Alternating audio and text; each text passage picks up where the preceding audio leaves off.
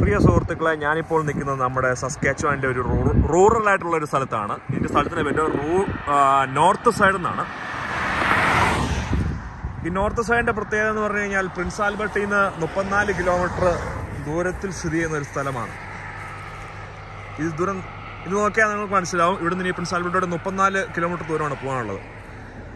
അപ്പോൾ ഈ north side കഴിഞ്ഞ് പോയി കഴിഞ്ഞാൽ നമുക്ക് ചെല്ലാൻ പറ്റിയ സ്ഥലങ്ങൾ എന്ന് പറഞ്ഞു കഴിഞ്ഞാൽ ക്രിസ്റ്റഫർ ലേക്ക് എമ്മ ലേക്ക് പിന്നെ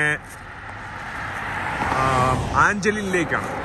അതിൽ ഈ ക്രിസ്റ്റഫറിലേക്ക് ഞാൻ പണ്ട് വിന്റർ സമയത്ത് പോയിട്ടുണ്ടായിരുന്നു. അത്യാവശ്യം നല്ലൊരു ക്വയറ്റ് ആയിട്ടുള്ള സ്ഥലമാണ്. അധികം ജനസംഖ്യ ആളുകളൊന്നുമില്ല. നല്ല കാണാൻ നല്ല സ്ഥലമാണ് മഞ്ഞ സമയത്ത്. പിന്നെ അതുപോലെ നമ്മുടെ ആഞ്ചലിനിലേക്ക് നല്ല സ്ഥലമാണ് കേട്ടോ. പക്ഷേ എനിക്ക് ഈ മൂന്ന് സ്ഥലത്തും സമ്മർ സമയത്ത് പോകാൻ പറ്റിയിട്ടില്ല. ഇവിടുന്ന് സത്യം പറഞ്ഞാൽ ഒരു മുപ്പത് മിനിറ്റ് നേരം വണ്ടി ഓടിക്കാനുള്ള ദൂരമേ ഉള്ളൂ. പക്ഷെ ഞാനിന്ന് പോകുന്നില്ല.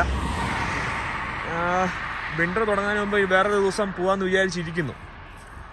ഏക്കായാലും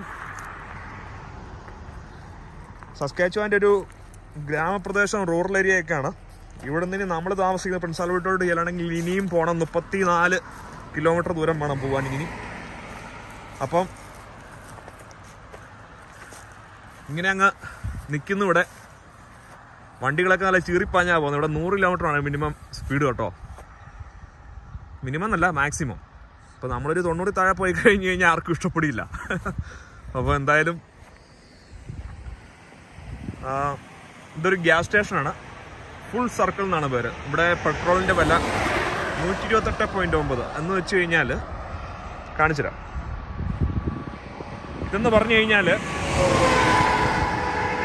ഒരു ഡോളറും ഇരുപത്തെട്ട് സെന്റും അതാണ്. അങ്ങനെ കൂട്ടിയാൽ മതി. അതായത് നൂറ്റി ഇരുപത്തെട്ട് സെന്റ് നൂറ് സെന്റാണ് ഒരു ഡോളർ കനഡിയൻ ഡോളർ. മനസ്സിലായോ? അപ്പം പെട്രോളിന്റെ വില എന്ന് പറയുമ്പോൾ ഏകദേശം അപ്പോൾ ഒരു നാട്ടിലെ ഒരു എഴുപത്തിരണ്ട് രൂപ അടുത്ത് വരും.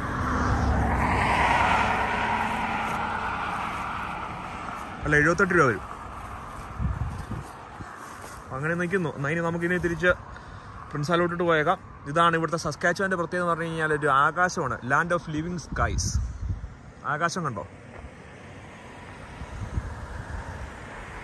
അപ്പോൾ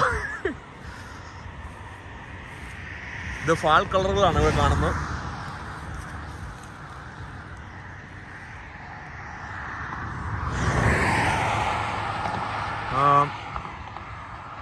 എക്കാലം ആകാശം മേഘാവൃതമാണ്. ഒരു മഴയ്ക്ക് ചാൻസ് ഉണ്ട് ഇന്ന്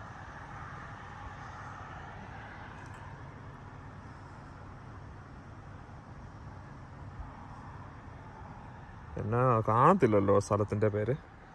ആ ഇവിടെ സ്ഥലത്തിന്റെ പേര് കൊടുത്തിട്ടില്ല. അപ്പം സ്ഥലത്തിന്റെ പേര് വേറൊന്നുമല്ല നോർത്ത് സൈഡിൽ എന്നാണ്